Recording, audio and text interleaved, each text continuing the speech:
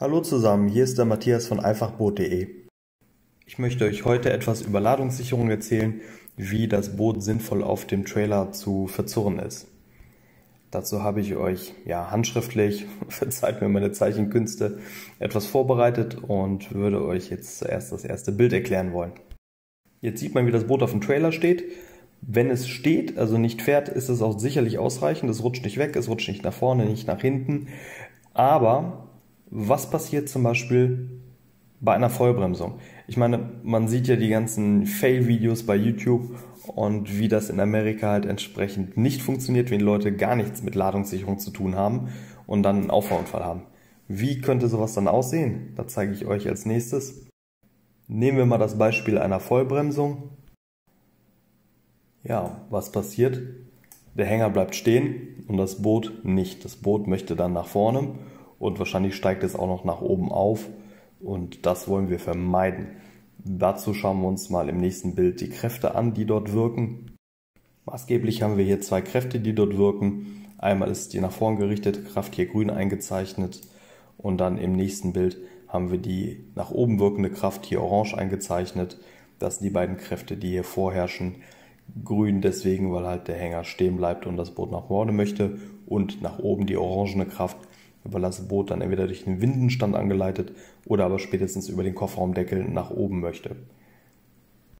Dagegen gibt es aber eine Erfindung, die heißt Spanngurte. Und wie wir die Spanngurte da am besten anbringen, dafür gibt es dann jetzt hier die nächste Skizze. Ihr erkennt hier die Farben wieder. Orange soll den Spanngurt symbolisieren, der die Kraft, die nach oben wirkt, aufhebt.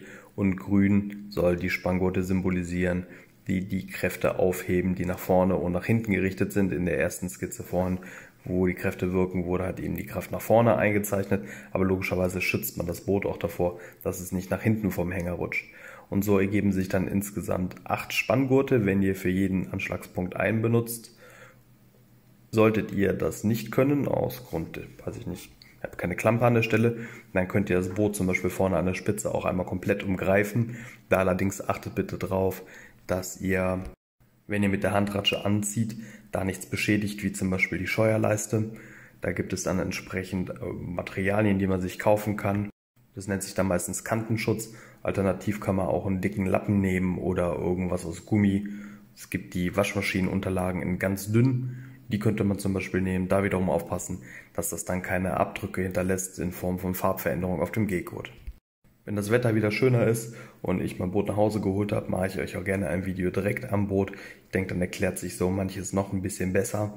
Es ging mir jetzt aber in erster Linie darum, da so einen ersten Eindruck für, für zu vermitteln, was richtig ist und wie man sich mit einem Boot auf die Straße trauen kann, was so auf dem Anhänger gesichert ist, dass es sicher, sicher ist. Jo. Wenn ihr Anregungen, Fragen oder Kritik habt, schreibt es gerne in die Kommentare. Wenn das Video euch gefallen hat, lasst einen Daumen nach oben da oder vielleicht sogar ein Abo für meinen Kanal. Alles Gute, danke.